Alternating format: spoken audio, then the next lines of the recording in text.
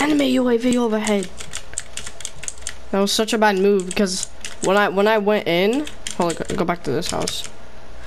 He was in like the bathroom, and um, so I thought he wasn't there for like three seconds, till I saw saw a gun inside my face. Ah, I killed him. I'm clipping that. I just sniped him right out that goddamn thing.